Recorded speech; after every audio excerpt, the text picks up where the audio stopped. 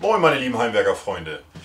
Ja, ich habe vor einer, einiger Zeit habe ich ein Schneidbrett gebaut und zwar aus Bongossi Holz. Das verlinke ich euch mal oben in die Infobox. Äh, das hat leider nicht so geklappt. Äh, ja, es waren mehrere Faktoren irgendwie, warum das nicht geklappt hat. Also unter anderem, weil die Temperaturen sehr kalt waren draußen. Auf jeden Fall habe ich gesagt, dass ich das nochmal bauen werde und mir was überlegen werde. Und das habe ich heute getan und das werden wir jetzt zusammenbauen. Und ja, ich wünsche euch viel Spaß bei diesem Video.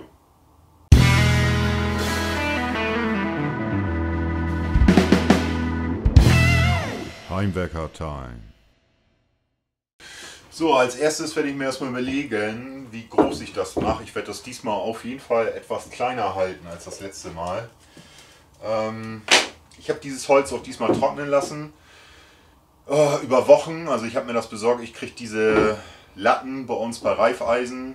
Äh, es ist, glaube ich, sehr schwer, irgendwie an solches Holz zu kommen. Es sei denn, übers Internet ist auch ziemlich teuer. Also habe ich zumindest von anderen Zuschauern mitbekommen. Und ähm, ja, aber diese Pfahl, also das sind irgendwie Fehle, äh, so werden die auf jeden Fall bei uns verkauft. Die sind nicht so teuer, aber die sind halt klitschenass. Und das habe ich jetzt über Wochen trocknen lassen. Und jetzt werde ich mal gucken. Jetzt werde ich aus dieser einen Latte werde ich das äh, Schneidbrett machen. Und dann werde ich mal gucken, wie gesagt, ich will das nicht so groß machen. Ich teile mir das jetzt mal eben ein bisschen ein und dann werde ich das zuschneiden. Dann gucken, ich glaube zwei Meter lang ist die Latte oder Pfahl, je nachdem. Ja, ungefähr zwei Meter lang. Ähm, zwei Meter. In der Höhe werde ich das lassen. Mal, 5,5. 5,5. 30er Größe, also in der Breite oder Tiefe 30, würde ja eigentlich lang oder noch ein mehr. Das wird sonst zu so schwer, ne? Ich mache erstmal ein kleineres. Das ist jetzt quasi mein zweiter Versuch. Ich mache jetzt 30 ungefähr, aber bei 5,5 sind es ja dann sechs Stücke, sind wir bei 30, sind 33. 33 sieht doch schon wieder, genau. Also ich mache sechs Stücke. Jetzt muss ich sechs Stücke aus 1,90 rauskriegen. Dann machen wir das so. Da, da, da, da.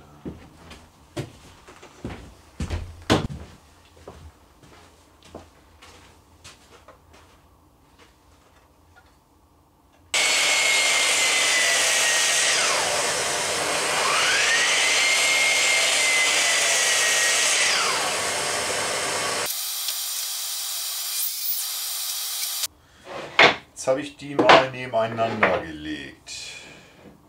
So, und hier sind jetzt trotzdem kleine Unebenheiten drin, weil dieser Pfahl oder diese Latte nicht hundertprozentig gerade ist. Jetzt habe ich leider nur ein kleines Sägeblatt auf meiner Tischkreissäge, wo ich höchstens 4,5 cm sägen kann. Die anderen, die ich habe, die sind leider zu stumpf. Da muss ich mir unbedingt mal ein neues holen. Aber ich will das Problem jetzt lösen, weil ich würde die gerne in der Höhe jetzt nochmal quasi zuschneiden, dass ich das besser angeglichen bekomme, weil durch meinen dicken Hobel passt die Geschichte auch nicht, weil der nur 26 kann. Oder... Nee, ich mache das anders. Ich jag die jetzt einzeln, ah nee, das ist aber auch blöde. Einzeln durch den dicken Hobel. Vorher. Es geht einfach darum, ich möchte das ja wieder zusammenleimen und das war das letzte Mal echt das Problem. Also ich habe viermal oder so musste ich glaube ich das neu leimen, weil das einfach nicht, ja, klebte. Jetzt ist mir aber aufgefallen, wenn man das Bongossi-Holz mit einem anderen Holz zusammen kombiniert und leimt, dann hält das bombenfest. Da ist meine Idee nämlich, dass ich hier Nuten einfräsen werde, also quasi wie so Lamellos und die dann zusammenpressen werde, weil eine Flachdübelfräse habe ich auch nicht. Also habe ich mir das nämlich so überlegt.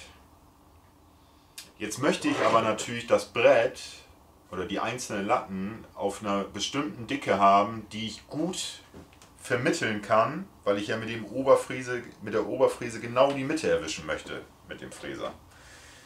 Wenn ich die jetzt einfach durch den dicken Hobel hau, ja gut, dann muss ich mal wieder messen. Messen, gucken, messen, gucken. Ja, bis ich sonst auf 3 cm bin. Bei der Tischkreissäge wäre mir das jetzt irgendwie lieber gewesen. Aber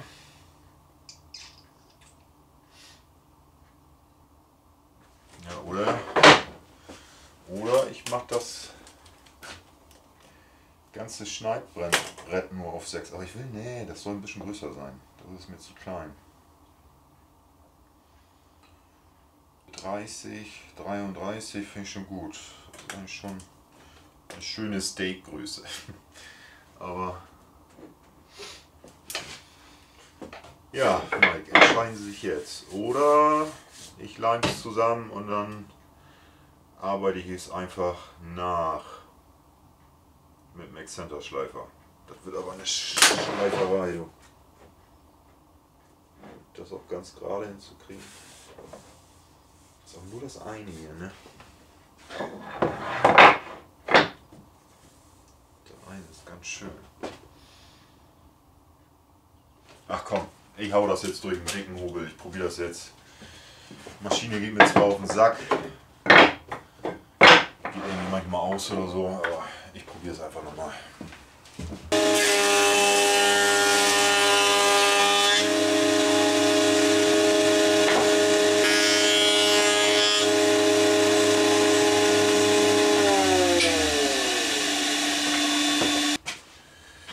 So, das Abhobeln hat gut funktioniert.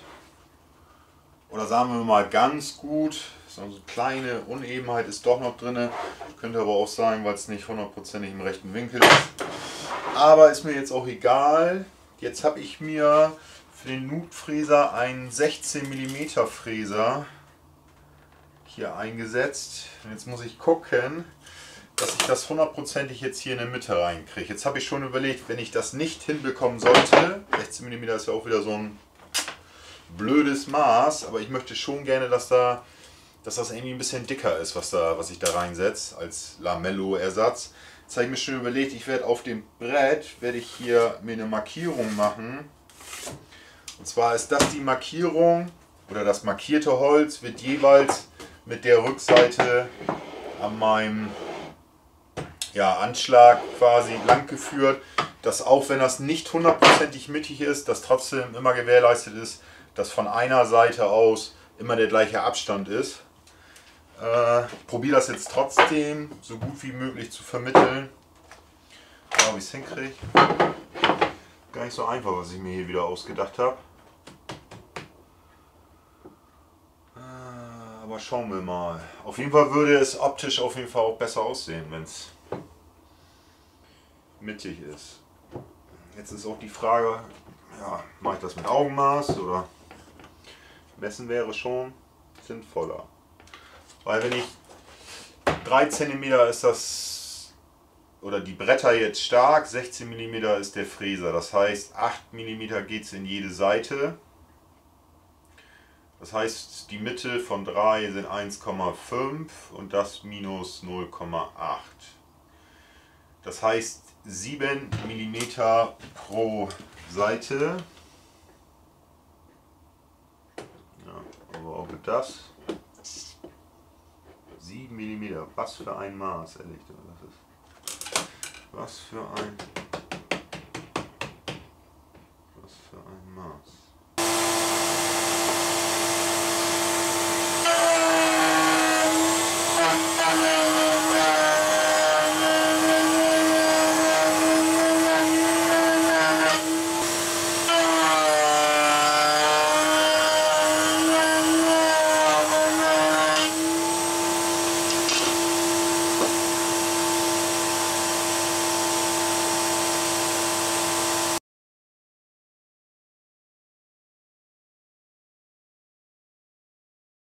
So, das Ganze hat eigentlich ganz gut funktioniert, außer bei dem ersten. Da war die Geschwindigkeit der Oberfräse zu gering, dass ich irgendwie weggelaufen bin. Ich habe die jetzt auf volle Geschwindigkeit gestellt und dann ging das wesentlich besser zu fräsen. Ähm ja, ich weiß nicht, ob ihr das sehen könnt. Aber ich kann, kann euch das mal so zeigen. So habe ich das auf jeden Fall gemeint. Und da sollen dann gleich andere Hölzer mit eingeleimt werden. Boah, ich bin mal echt gespannt, ey, ob das aufgeht. Interessant wäre jetzt auch mal zu sehen, was ihr Zuschauer gerade am, am Monitor so denkt oder sagt. ob ihr gerade vielleicht auch denkt, so, oh nee, das kann nichts werden. Naja. Auf jeden Fall werde ich diese jetzt noch weiter oder tiefer fräsen, weil das ist mir ein bisschen zu, zu wenig. Gut wäre irgendwie, wenn ich so auf 2 cm komme. Kann ich dann besser zusägen mit der Tischkreissäge. Ja, ich werde die jetzt auf jeden Fall noch mal ein bisschen tiefer machen. Ähm ja, und dann gucken wir gleich mal weiter.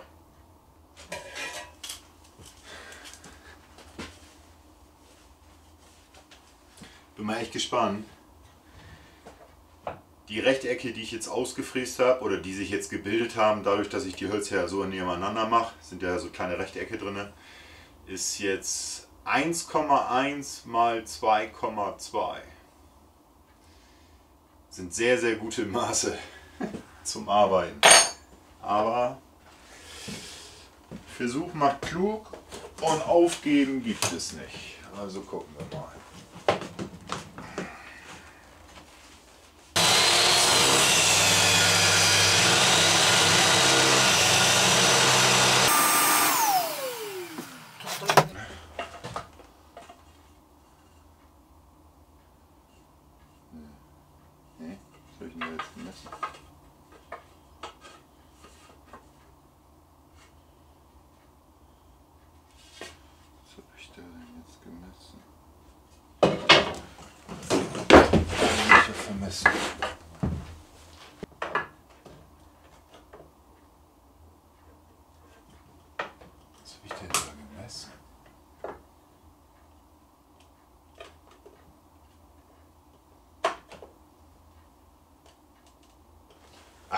Ich erzähle auch Blödsinn. Der Fräser hat ja 1,6. 1,1. 1,6.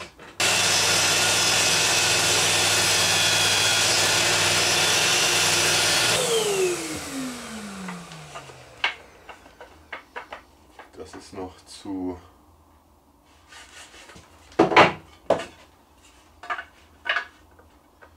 zu leichtspielig. Das wird jetzt um Millimeter wird es jetzt gehen. Millimeter, Zehntel. Zehntel.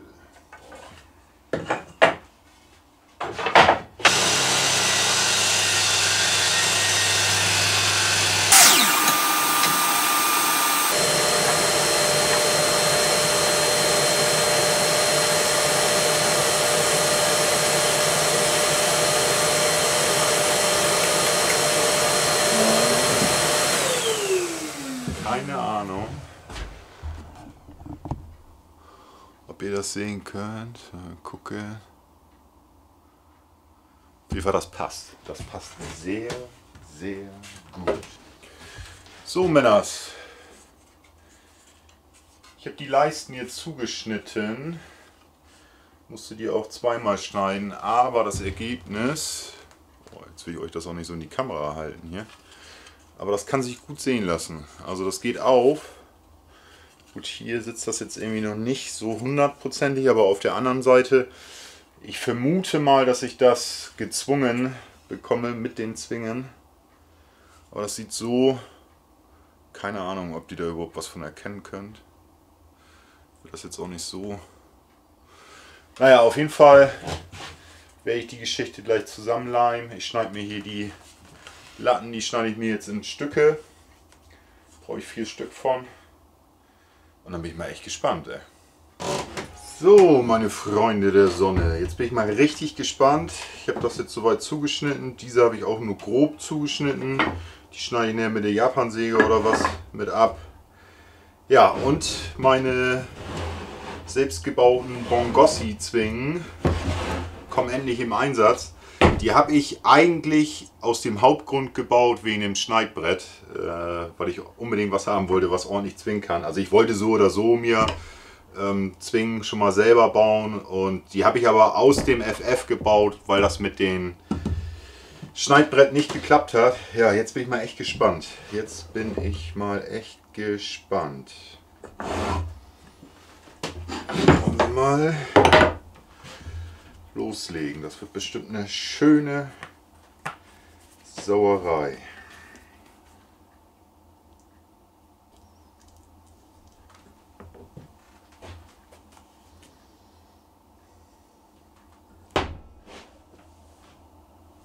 Schon gut los.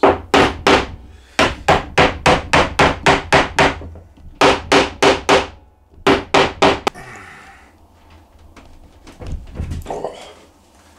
Wahnsinn. Wahnsinn.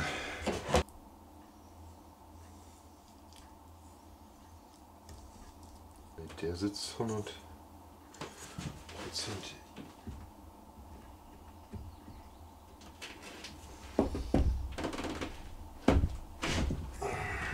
Der sitzt besser auf jeden Fall.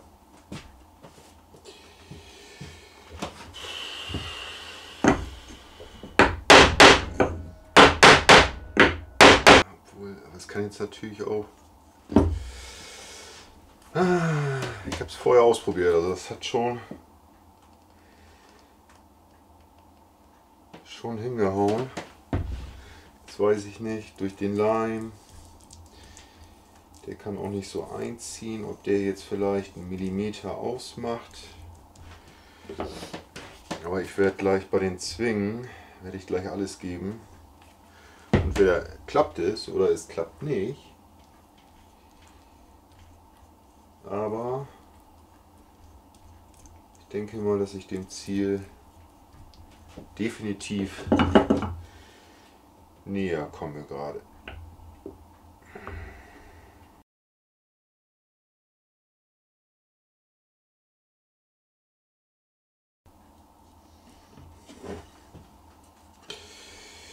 Tja, oh, der, das ist wahrscheinlich das Stück, was ich ganz ausprobiert habe. Das ging gerade spielend.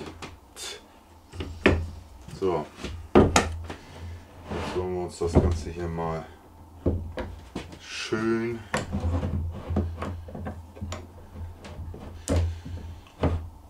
festjuckeln. Jetzt bin ich mal gespannt. Ob ich da noch ein bisschen was rausholen kann, wäre ja super. Ne? Eine fünfte. Da brauche ich noch eine, du.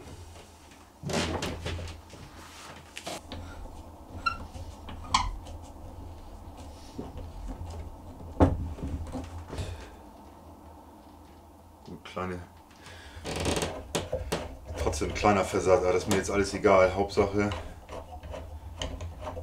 ich kriege das zusammen gepresst.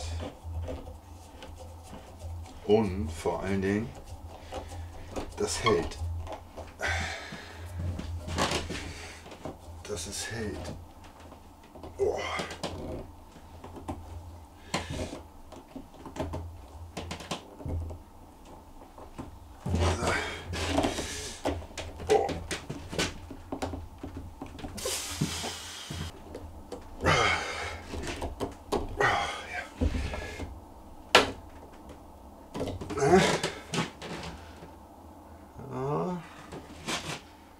Freue mich gerade ein bisschen, ne? Und vor allem funktionieren die Zwingen. Oh, sehr gut.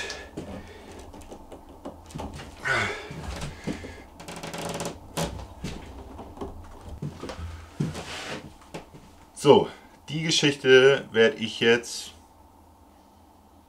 Glaube mal zwei oder drei Tage einfach mal trocknen lassen. Da werde ich nicht beigehen, das werde ich so lassen.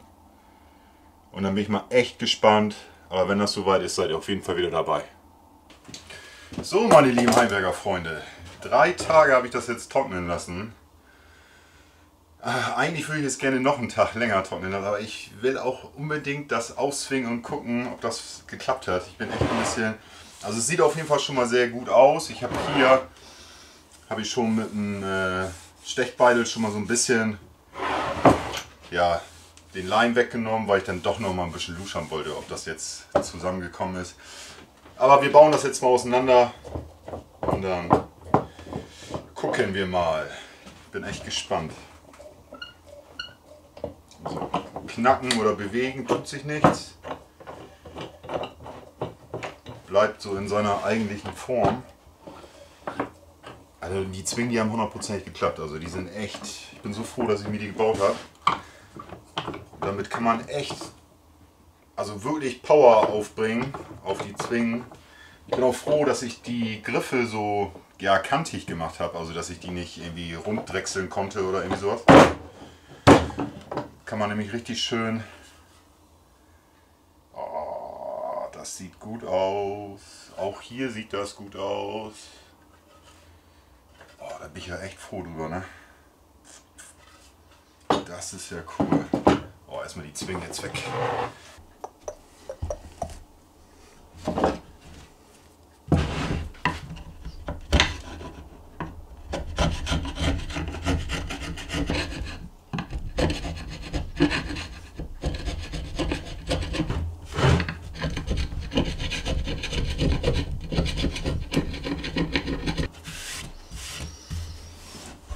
Das hat geklappt. Nur kleine Versatze. Versätze, Versatze, ich weiß es nicht. Ist auch egal. Ja, so ein paar Millimeter, Millimeter vielleicht. Hier klappt es da nicht. Könnte es ja erstmal erstmal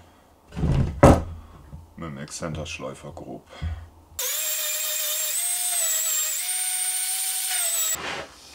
So Freunde, jetzt habe ich das erstmal mit dem Exzenterschleifer ein bisschen bearbeitet. Ich habe leider nur 120er Körnung da. Äh, ja, jetzt kriege ich das nicht hundertprozentig angeglichen. Jetzt werde ich mir das erstmal zuschneiden.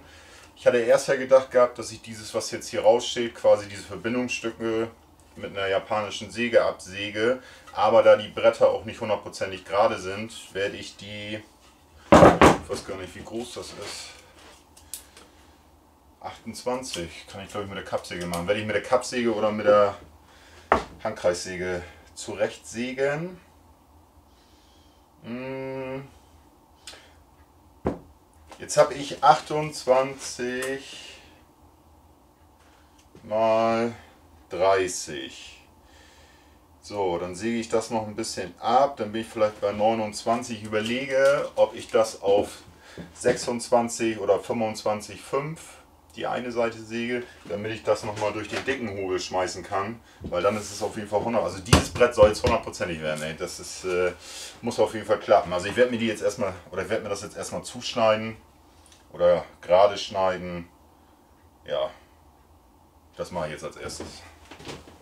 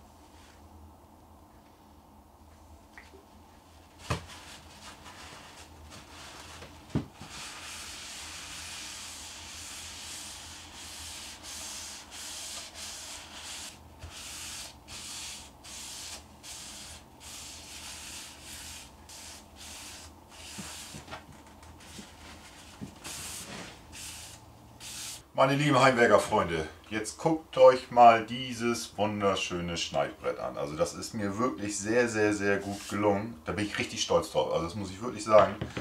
Vor allen Dingen, wie gesagt, wer das Video kennt, wo ich schon mal ein Schneidbrett gebaut habe, das war wesentlich größer, wesentlich massiver. Ähm, der weiß, dass ich echt arge Probleme hatte mit dem Verleihen und diesmal hat das alles wirklich super geklappt. Also ihr kriegt gleich auch noch ein paar Nahaufnahmen. Ähm, auch, dass ich mir das einfallen lassen habe, hier mit diesen ja, Nutenfräsen und eben halt das andere Holz mit einsetzen. Also es hat wirklich super geklappt. Das Einzige, was ist, ich habe hier ein so eine Stelle, da ist mir beim Fräsen, ist mir irgendwie das äh, Stück Holz weggegangen. Ja, und das sieht man jetzt leider, aber das ist das Einzige, was überhaupt an diesem Brett ja, nicht hundertprozentig ist. Aber ich finde es wunder, wunder, wunderschön. Ich habe das Ganze noch dreimal geölt, habe das jetzt über Nacht äh, trocknen lassen. Also wirklich, da bin ich wirklich stolz drauf. Also es, das wird auch ein besonderes Schneidbrett sein. Also da, keine Ahnung, das wird irgendwie mal für Käse oder wenn ich ein Steak habe oder so, schon für was Besonderes. Ich habe ja mal ein schönes Messer ja auch mal bekommen vom Abonnenten oder vom Zuschauer. Äh, ich denke mal, dass diese Kombination dann äh, zusammen ihren Auftritt haben wird. Und ja, also ich bin da echt stolz drauf, dass das wirklich geklappt hat. Und äh, ich war da auch echt verbissen. Also ich wollte auch unbedingt, dass das klappt, dass ich dieses Bongossi, weil viele haben gesagt, das ist ganz schwer zu verleihen und alles ist es auch. Keine Frage, aber es hat jetzt geklappt und ja, ich bin super happy auf jeden Fall. Ja, wem das Video gefallen hat, der gibt mir gerne einen Daumen nach oben. Wer meinen Kanal noch nicht abonniert hat, kann ihn gerne kostenlos abonnieren. Da freue ich mich immer riesig drüber. Ja, und dann würde ich sagen, wir sehen uns zum nächsten Projekt. Euer Kreativbär. Ciao.